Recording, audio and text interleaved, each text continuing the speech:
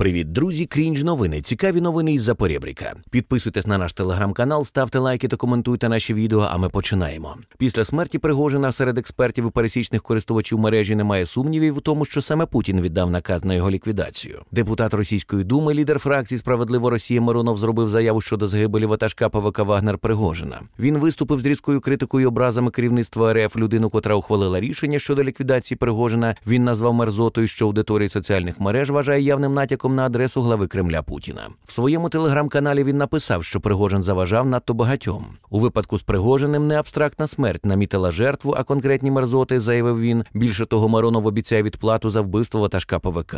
Терміново підписуйтесь на наш телеграм, щоб першими отримати інформацію. Цікаво ще те, що після загибелі Пригожина серед експертів і пересічних користувачів мережі немає сумнівів у тому, що саме Путін віддав наказ на його ліквідацію.